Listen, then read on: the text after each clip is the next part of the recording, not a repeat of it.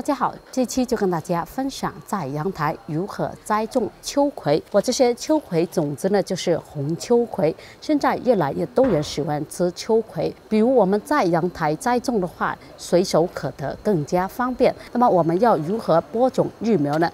育苗之前，我们先准备好的土壤一定要疏松、透气、沥水性好。初夏是生长旺盛期，我们给它播种呢，最有利于它长根发芽的快。那么我们准备的土壤呢，里面有河沙。那么我们准备好的土壤里面有泥炭土，还有珍珠岩，再加上一点河沙，这样配比的土壤既疏松、透气、滤水性好。当我们的土壤是干的话，一定要把它打湿润，潮土才有利于种子。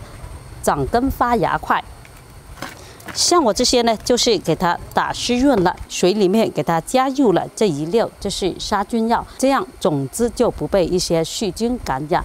使用这种杀菌药的话，它是针对土壤里面的细菌、真菌有效的杀灭，起到非常好的杀菌效果。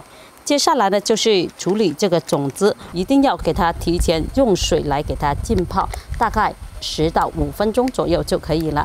这样种子已经吸饱水分了，那么就有利于它在土壤里面更快的长根发芽。如果没有给它浸泡过，非常干；如果没有给它浸泡过，非常干，那么我们把它撒到土壤里面，等到它吸到水分的时候，也要时间，它的发芽力就比较慢一点。接下来呢，就是给它上土壤，给它上完土壤之后呢，就把这个种子给它播种下去。一个育苗盆给它播上两颗，一颗也可以。然后呢，再给它覆盖一层薄薄的土壤，主要目的呢就是保持湿度，才有利于长根发芽。像我们使用了这种方法给它播种，成活率可以说是百分百，两天就可以长根发芽了。下个视频就跟大家交作业，如何给它移栽。好了，我们下期再见。